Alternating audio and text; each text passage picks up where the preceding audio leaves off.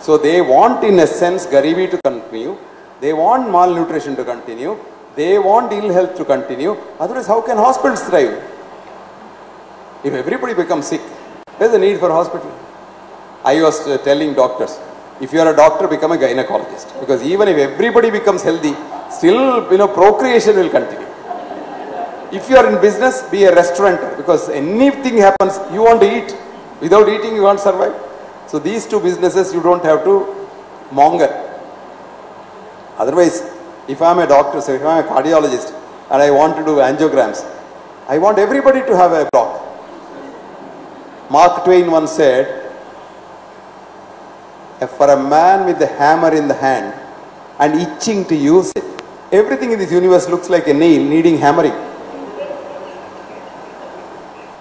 Somebody the other day was telling me a nice story. I must tell you that. I must get it out of my chest before I forget it. Heart attack in the shop. Oh, I know what I was doing. I was playing with the switch. The switch. That's why on and off it is going. What a fool I am. Playing with the switch. So, man had a heart attack. He became unconscious. He was taken to the nearby hospital, let us say, X hospital. And they treated him, etc., etc. On the third day, he became, he started opening his eyes. This was a charitable hospital. Charitable hospitals, do you know today? Charitable hospital is a hospital which gets all tax rebates from the government and charges extra for the patients. Now anyway, this was a charitable hospital run by nuns. Now there is a nun sitting by the side and saying, ah, what is your name? He told his name. Where do you come from? He said, do you have any relatives? He said, uh, no, except one sister. Do you have insurance? He said, no, I don't know what insurance is. Do you have a job? He said, I don't have a job. Are you, are you under the care of the government? I said, no, I don't have anything with the government. Then who will pay your bill? It is already 4 lakhs. He said, I don't know. Then he said, what's your, you said your sister, what's she doing? She is a sister, she is a nun and she is a spinster. He said, the sister suddenly grew serious and she said, nuns are not spinsters, they are all married to God. then fine sister, send the bill to my brother-in-law. So today you must God as your brother-in-law if you fall sick and go to a hospital. To change that, I started this concept called wellness concept about which I have been writing for 25 years now, where I said, A, we are all born with an inbuilt doctor, whom I call as the internal healer, which we call as the immune system, which you respect from day one. Number one, how do you respect? You drink your mother's milk as long as you can. As long as you can. And don't drink milk at all because it is foreign protein, it will destroy you. If you want to take any milk if you don't have a mother, you can denature the milk and make it curds. And that too, make it ghee. Ghritam tesvinam pitta anilaharam rasa saujasam says Ayurveda. It is pure butyric acid, caprionic acid and a few other fatty acids. No protein at all. Protein is that dark soup that comes out when you clarify butter. And then you eat food as given by nature. Not, you know, changing food to taste the suit the. As given by nature. And I was surprised, you know, people were saying coconut oil is a poison and should not. I said, look, what is this you're talking about? There's a coconut oil as cholesterol. Of course, if a doctor says coconut oil is cholesterol, he has not gone to the medical college at all. Because the first thing we teach in biochemistry is cholesterol comes from an animal source. How can vegetarian think of cholesterol? Then they realized that they started changing it. Coconut oil is saturated fat. Others are non-saturated fat. So saturated fat is bad. This is called the jati system. How divide people you, know, you are a Brahmin, you are a Shudra, you are this, you are that. That doesn't exist. Is the fatty acid in coconut oil is the question. What is the fatty acid in mother's milk is the question. They are the same. Both are sodium monolaurate. Sodium monolaurate is monolauric acid which is the basis of the human immune system. So if you don't have a mother's milk, if you have to have food, even in America, the infant food has the base of coconut oil. Now Americans are saying, we are sorry, by doing propaganda against coconut oil, we have killed millions of people in the world. Coconut oil is a treatment. And the latest thing is coconut oil is a treatment for Alzheimer's disease. Alzheimer's disease.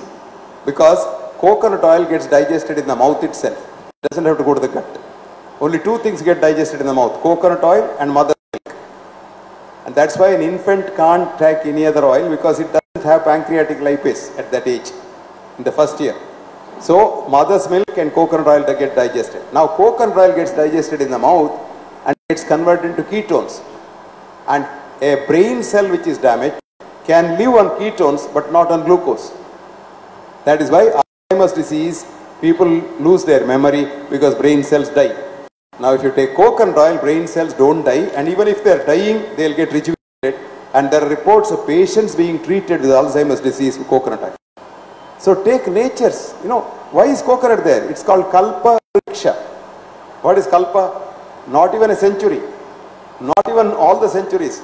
Not even uh, Treta Yuga. All times to come. It's a Kalpa, the whole thing. Vriksha. The only thing. Tell me one part of coconut tree which is not useful. Which is not biodegradable. Have you seen Kerala girls?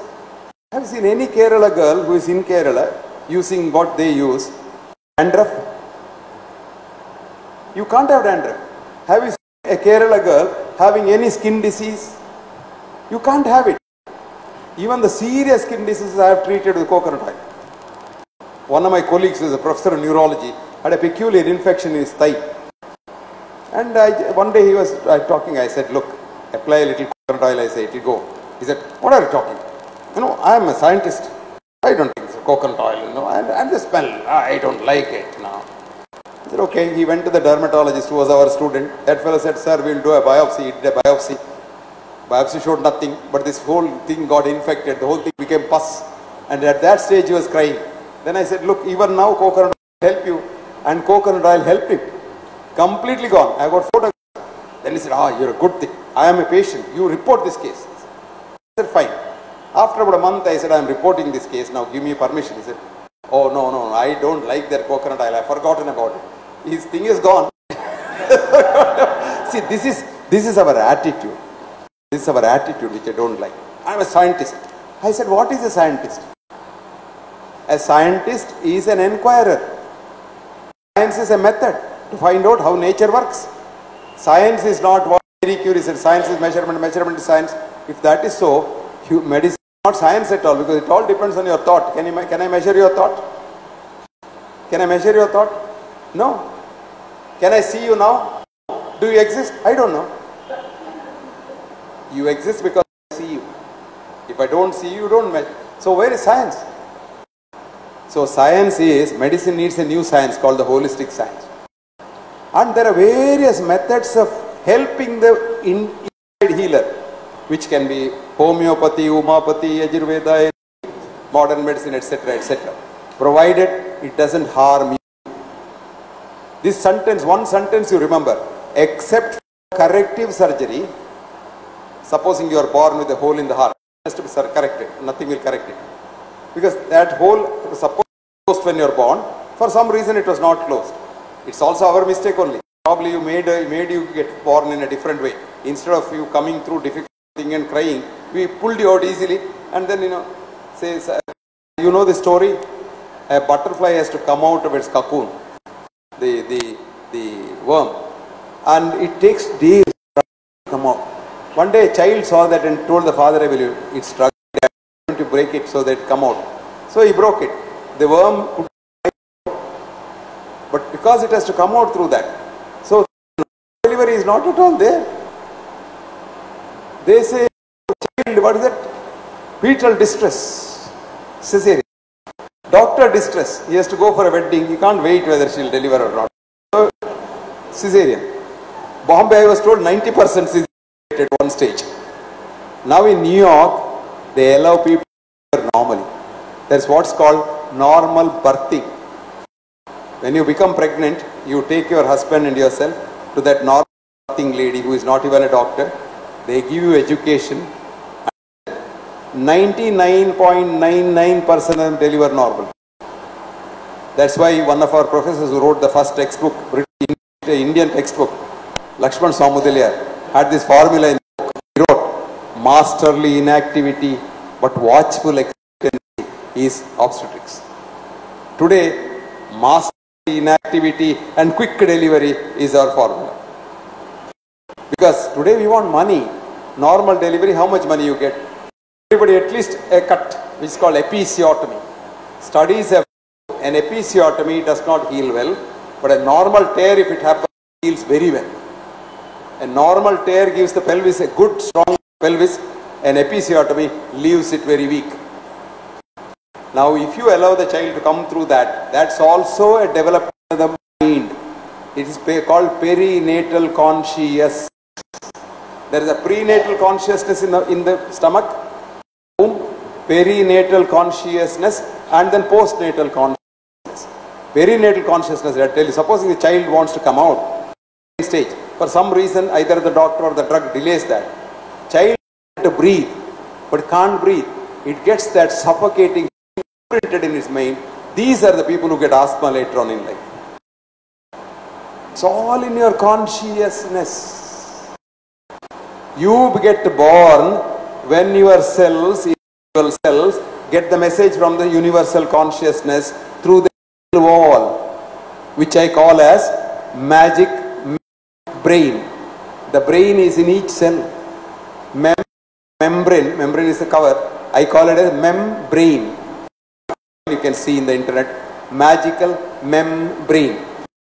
Now it's like a television set. I was telling the Hinduja people this morning. You switch on your television. Let us say Amitabh Bachchan or Shah Rukh Khan dancing.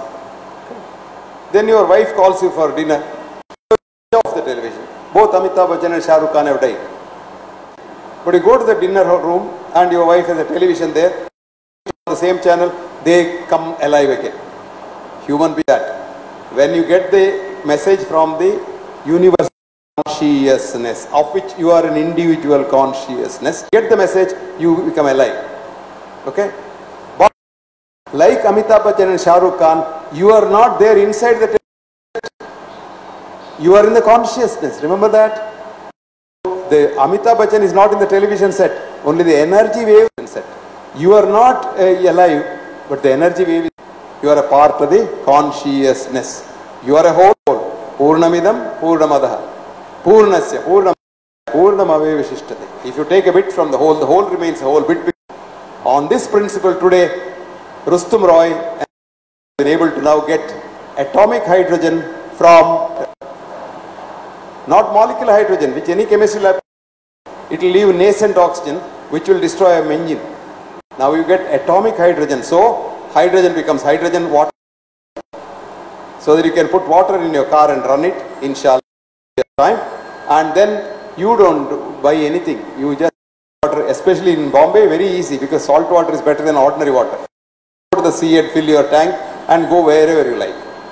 You take your girlfriend to Mathura or or or what is that? So there's no, no what is that? Mahabalipuram. Huh? Oh, what, what? All because Rustum got this idea from a shloka in the which is called Urj, which says is water is the father of fire, water is the fa- father of mother of every energy in this world. Fascinating. And you are 8% by weight water. Okay? But 9% of your molecules are water. So much happens to water happen affects your body. If you are pregnant, delivering during a new moon is difficult because your fluid is less. Delivering during full moon is very easy. So in Europe now, some surgeons have started doing elective surgery new moon time because very little blood loss. If you have to do an emergency surgery in full moon time, you lose lot of. So all these things affect a lot of our system. So you are a part of this universe and try to live universe. That's called Prakritika Jivana. You live with the universe. See, Ayurveda says food is different from summer season, winter season, when it's mother food. Now we have the new modern medical, which is calorie wise, it calculates, and round the year it's the same. No, Ayurveda says in winter you require more to eat lot of spices. Switch the. No, you're looking at a watch. Now, interestingly, after 50 years of researching common cold in a center in London called Cold Research Colindale, from 1948 to 1990, spending 10 billion dollars, they came to the conclusion we can't know anything about common cold at all. So the center is closed and they have started AIDS research in the same. But the last paper which came out of the cold center in the Lancet says, if you get cold season, go to an Indian restaurant and eat lot of curries. And our Ayurveda is in summer, you take a lot of seasonings, hot. And now, Zyment from Harvard University, says, best viral killer is ginger. Next is garlic, then is pepper. Mother used to say, whenever you have anything upper respiratory, have a kashaya.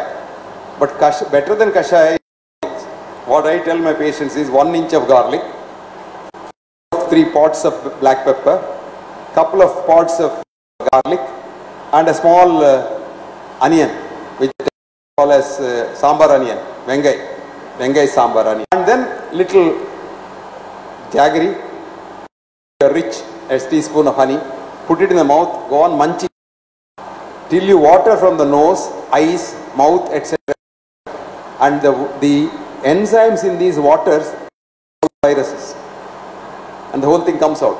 Then at the end, feel like swallowing it, swallow it because next day it will be good at the other end. So you must have some input to uh, output. Otherwise, constipated, then go to the doctor for so many things. You you sit there and every mucking, you know mucking, You go on and then you get hernia after some time. Then you go to the heart, uh, suffer hernia or aphy, and then then you get piles at the other end, and then sometimes you get even heart attack coming. Seriously muckify. What happens is you, you get a serious rise in blood pressure and suddenly it comes down. So you get a heart attack. You will be comfortably meeting your maker in the toilet. That's one way of you know exit. Exit from here must be made possible. And modern medicine is giving you a lot of things to give. A good friend of mine who is no more, may his soul rest in peace. One day he came to me. He's a big professor. He was a AICT director. He was a university doctor. He said, Dr. Hegde, used to be five minutes in the toilet for me in the morning till I went for blood pressure and he gave me so many tablets. Now, even one hour, I have no time in the morning. Even one hour, I don't get anything. At you know, small pellets coming out. I was reminded of an incident in my life which humbled me a lot, which made me feel I am a bloody fool. Then only I read what Mark Twain has written. A man knows he is a fool, but a fool thinks he is wise. Up until I was a fool, I was thinking very wise. After this girl, I was going to Delhi. There was a new flight called Bombardier flight to Delhi from which was taking about three hours, nearly three hours. And uh, Air started, they were not giving you any food, no reading material, nothing. That day I had forgotten book also. So I was sitting there, two two seats on either side. There was a girl sitting with me, and she was reading a thick book. And she was so absorbed in the book, I was feeling so bored. Plane is flying, flying, and nothing happening. Nobody is getting any food, nothing to read. I was jealous of this girl reading the book. So after some time, I just wanted. I said, "Young lady, do you know uh, relativity theory?" She said, "Yes." What do you want to say? No, no. I said, if neighbors in the plane start talking, it appears that the plane is going faster. So why not? she was so annoyed because I disturbed her. For, she said, talk about what, man? She said. I said, look, I have been a teacher for about 45 years now. We can talk about anything, just we'll talk. I see. You talk on anything? I said, I suppose so. She said, I'll ask you a question first. If you answer that, we'll talk. I said, okay. I said, what can this high school ask? So she said, do you know a cow? I said, I do. Do you know a goat? I said, yes, I have seen goats. Do you know horse? I said, yes. What do they eat? She asked. Asked, Good, she said. Now, okay, all of them eat grass. Look at the other end. Cow brings out a large patti. Horse brings out buckets of dried grass. And this goat brings out pellets, small pellets. Tell me why, she said. I scratched my head for a long time. First time in my life, I cursed my mother for bringing this world. To be humiliated by this girl. Then I said, young lady, I really don't know why it happens. Then she said, serves you right. A man who doesn't know shit wants to talk about other things. and she dipped herself into that book. What was that book? Harry Potter. so, what happens is, people have a lot of problems with the shitting. You may think it is a small thing. You know what shit is? What is shit? Good. Good girl. Store high in transit. S-H-I-T. In the good old days, the, the manure was not uh, fat or urea. It was human shit. And was being shipped from one country to another country.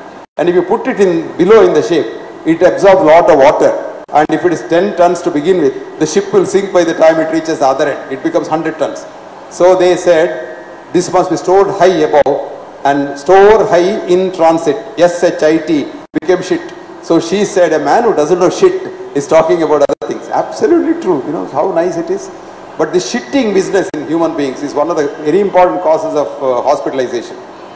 You don't shit properly, then you take all the other things, and ultimately what happens is every day you drink these uh, irritable things, and ultimately it starts leaking. So for years together you would have a baby's, what is that called? Pampers. Huh? Pampers, right? Another pampers thing. Now Kiddy has asked a question, old age problem. You are not old at all. Somebody asked me ah, how old I am. I said I don't know. If you ask me when I was born, I know, but I don't know because I don't want to think about it. Each time somebody says, hey, you're, you know, in the plane and all, they sometimes now they don't say, hello uncle. You feel a little bad, you know. this elderly lady calling me an uncle, you feel, but then I say, no, he must be thinking like that, but I don't.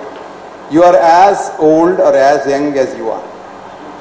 The problems of old age are not because of the age, because your children are not with you and they don't look after you. Remember that. I've been talking to old people when I was a student in England also. I once had a lady. She had about so many problems, but her main problem was in the heart. She had heart failure. And she was our main patient, but she had drugs from every doctor, every specialist. She had about 18, 19, 20 drugs. One day I was talking to her. She said, young doctor, do you know my problem? The government is not helping me. The government is spending thousands of pounds of their taxpayers' money for supplying me these drugs. I don't want any one of them. Tell the NHS to give me a ticket to Australia because my only son has been in Australia for 30 years. He has not come to see me. If they give me one ticket to Australia, if I can see my son, my breathing will be all right. I had tears in my eyes. Today see elderly people. Hi Papa, hi Mom. And he'll probably, you know, in the Western style, he'll come with a wine bottle in Christmas and say, Hi Pop, hi Dad, and then come next Christmas one.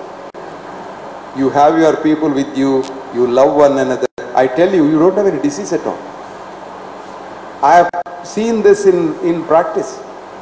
I have a family in Manipal. These children are all, three children are all PhDs from Stanford. They're big jobs in America. They left all that. They said, our parents have become old. We will come back. They came to Manipal, built another floor on their house and started a new company where they're doing very well. But they are with their, all the three sons, three wives, their children in one house, father and the mother. The father was very old. He had an illness. Children said, no hospitalization. And they said, sir, you just give us some advice. We will look after him. They did four hours duty, 24 hours. By alarm clock. One brother will sit four hours round the clock. Next brother will take over. The sister-in-law will take over. Another sister-in-law will come. 24 hours. They kept him alive for eight months without a single tablet and without going to the hospital. And he died a happy man talking to his own people in the. Today what happens? You are in the intensive care unit, which is hell. In short, it is hell. But intensive care unit is the one that gives you money.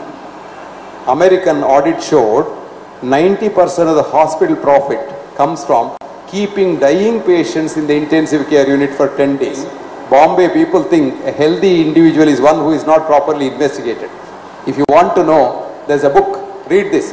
The Last Well Person. What's the book's name? The Last Well Person. It's a beautiful book. This is written by a professor in America. Professor. I'll tell you the name. Hang on. Comes, it comes. It just can't come like that. It's not. I'll, I'll tell you everything. His name is Nortin, N-O-R-T-I-N, Hadler, H-A-D-E-L-E-R. Okay? You want to know who is the publisher? Random House. Now if you read this book, Professor Hadler will tell you, there is nobody called a well person at all. You are a healthy person by my definition. You go to a doctor, you will be declared ill. Because what is normality in medicine, do you know? Average. Average is called normal. This is statistical medicine. You say your, your blood pressure was 120 by 80. Who said that? My blood pressure cannot be like your blood pressure, her blood pressure. Each one of us has different blood pressure. I'll give you an example. We have one Varma who started the uh, Nimhans in Bangalore. He was the founder director of Nimhans, whose blood pressure always is 90 by 40. And he has been seeing me for a number of years for treatment. I said, look, Ningadendini, you will be, you will live for 100 years. Why are you worried about it? And he operates for 12 hours standing. He is about 90 years now. Even now he is a consultant. And Mahatma Gandhi's blood pressure is 240 by 120. Who was not getting sleep? Sushila Nair. You read Sushila Nair's biography. She was worried that the old man will, uh, you know, kick his bucket any minute. And he died of hypertensive complication. That's a bullet from Godse. What does it mean? We are not averages. I'll give you a much more mundane example. What is the normal um, Indian height for men or women? 5.4 plus minus 2. This is called median plus 2 standard deviation. That's a statistical jargon. You know what statistics is? There are three kinds of lies. Ordinary lies which ordinary people like you and me speak. When the phone rings, you don't want to take it, you tell your wife he is eating. Then super lies which politicians speak. You or George Orwell's Animal Farm, he says, they will give respectability to murder. They will give, they will solidify the air and they will promise a bridge where there is no river also. That is super lies. Then the third is statistics. You can make anything to anything. You give you same biodata which our friend uh, Basu read. If you give it to some good lawyer, he will say B.M. Hegde is the first criminal who must be hanged before that Kasab or whatever. But if you give it to Basu, he'll say B.M. Hegde is so good that he must be given Bharat Ratna. Both are possible. Because what is statistics? You dredge it, you sharpshoot it, you mix masters. And there's a beautiful book called Science Without Sense, that is statistics. You want the author, madam? Stephen Milloy. The author's name is Stephen Milloy. And the book's name is Science Without Sense. And the publisher is Cato Institute, Washington. Write down 1000 Massachusetts Avenue, Washington, DC, 2001. What I am saying is, we live in a fool's world. And we are all schooled to believe that these doctors are all gods, they are here for our good. There are gods among doctors. But Ayurveda has also said, doctor, when you get start getting money, Vaidhyarajo Namastubhyam, I salute you. Why? Yamaraja Sahodara, you are the brother of Yamaraja. Don't feel bad. I am very proud because Yamaraja is the only man who is who is not corrupt and who treats everyone equally. Absolutely equally. So it's proud. But the second sentence is a little tricky. Yamastu harati pranan. Yama only takes life. Vaidhyo pranan dhanani cha. You take both. This is this is the problem. So otherwise, then so much so, doctors have lost all their credibility even in the West now. I was telling Nadkarni Saab, I think, uh, uh, yes, Nadkarni Saab I was telling, you must all read this article. It is free in the internet called Death by Medicine. Read that, Death by Medicine. The first author's name, madam, is Gary Null. This is in a very difficult journal. You won't get it in the journal because you have to pay for it. But it's free on the internet. Somebody has put it in the internet. Virus. Put it in the internet. Read it in the and you, you, you will get, get real good idea. If you want to read a respectable scientific journal itself, There's an article called Is US Medicine the Best in the World? Read it. Is, IS, is US, United States Medicine the best in the world? Okay? Article. Author's name is Barbara, B A R B A R B A R A. Barbara. Barbara, Barbara, you know? Barbara Starfield, S T A R F I E L D, Starfield. And the journal is freely available in the internet. It's called JAMA, J A M A, Journal of the American Medical Association. Year is 2000. Write down 2000. Semicolon, volume is 284. Colon, page is 483. Go and read that today. You will get a shock. American medicine is the worst in the world and we are aping American medicine. Number one. Number two, America, doctors and medicines are the leading cause of death. You get that? And cancer and heart attack come after that. Still, we want to be American. Today, the craze for America is such that I was telling the doctors in, um, in um, Hinduja Hospital this morning, today if you want to go for a consultant's uh, uh, this interview, you must have one special qualification. You may be a FRCS, MRC, nothing. BTA, you know what BTA is? Been to America. Unless you have gone to America for training for at least one year, you are not uh, the ideal candidate for appointment as a consultant. So everybody is there, you know, 10 candidates sitting, everybody is anxious whether there's only one post vacant. They'll say, Are you a BTA? Are you a BTA? If anybody is BTA, this fellow will not go for the interview at all, he'll go home. If nobody is a BTA, then he says, I stand a chance, let me try. So that is our, our, because we are slaves. We have political independence, but not intellectual independence. We still think with the Western idea. See, yoga originally is from India. It has gone to America and come back. Now you have super yoga. Have you seen super yoga in the internet? How many Tamilians here? Huh.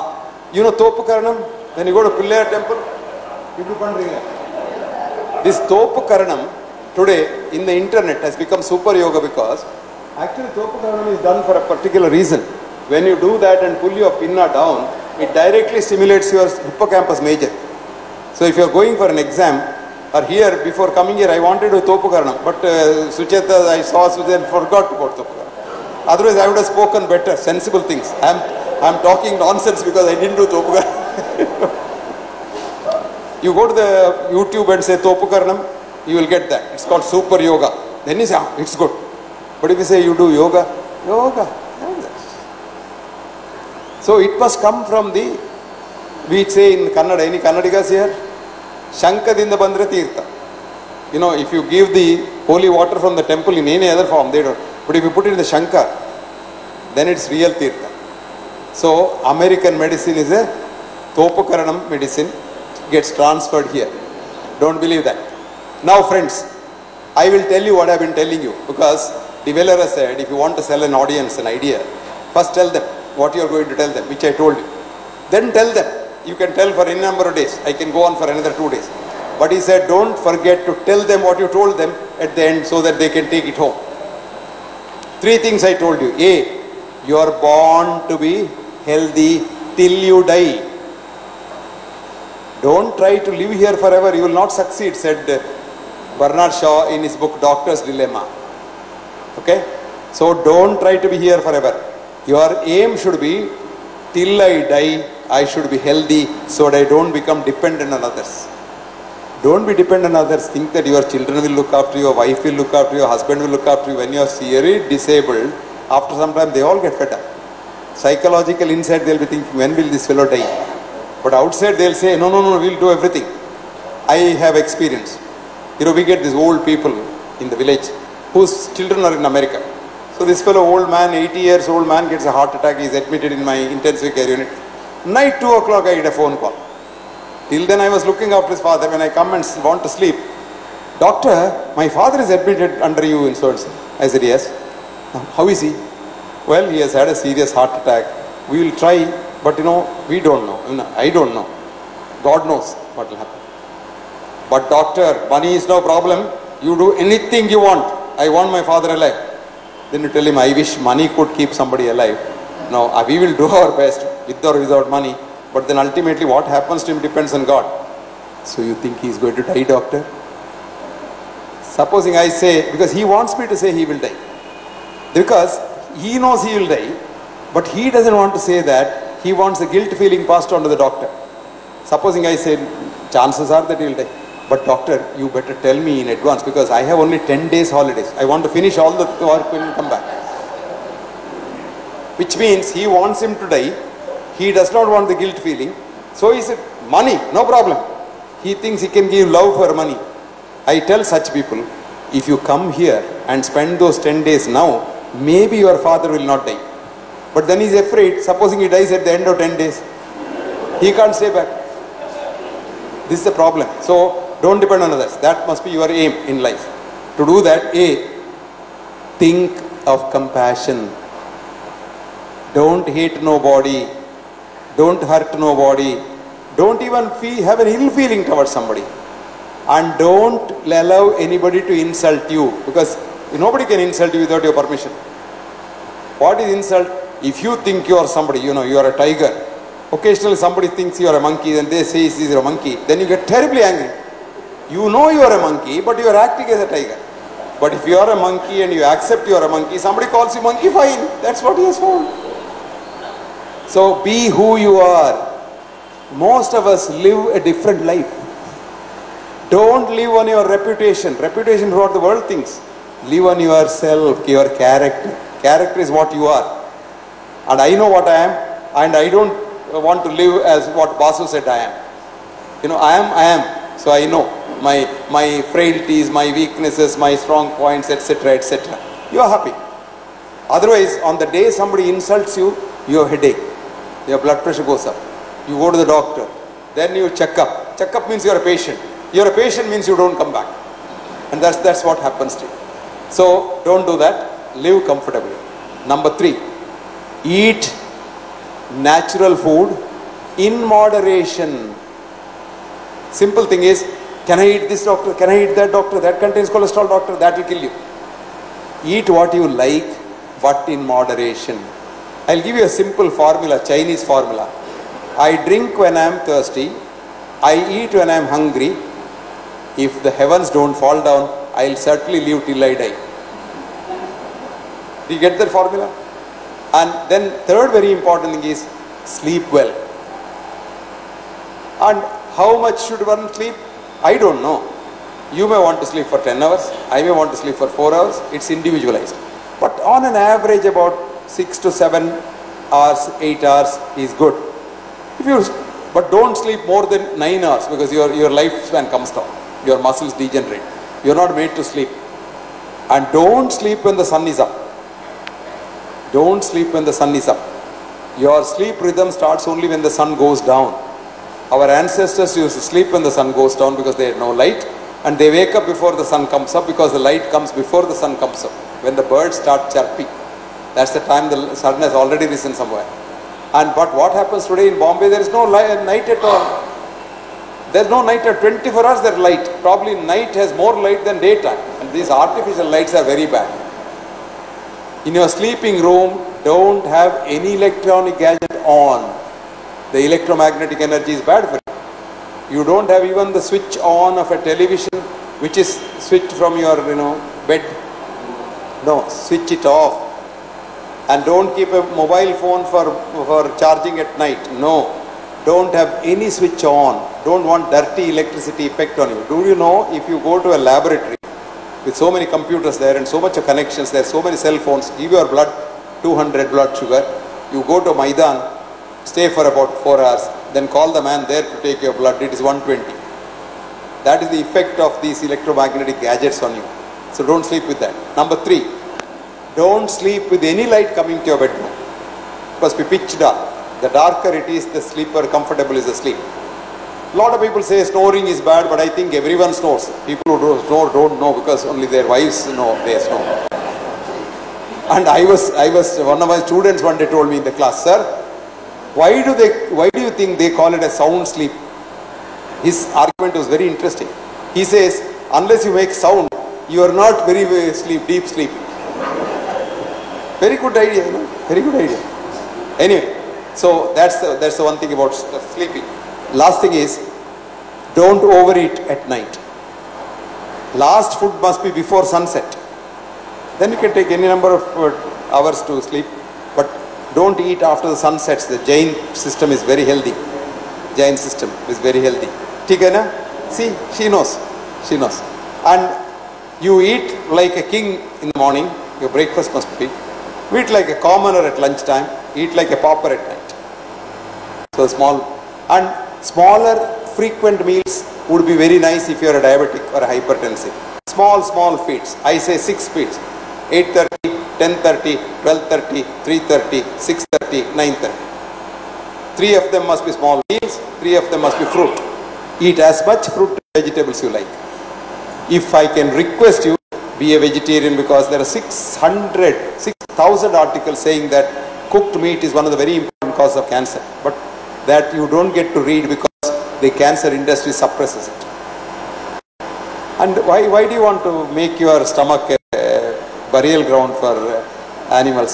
Just eat vegetarian food which is, which is good for you. Not that vegetables don't have life, they also have life, but the cycle is different. They don't have the kind of emotions that we have. Their consciousness is something different. You read J.C. Bose, plant consciousness and human consciousness something different. You will be surprised. In the West, people don't even believe that plants have consciousness. I was giving a lecture in the Royal College in London where I mentioned about this consciousness and talking. A very senior fellow afterwards wrote a letter to me saying that, what were you talking through your hat? Plants cannot can't consciousness. So I sent him all the data. Then he says, my God, I never realized that I am such an ignoramus till I read your papers.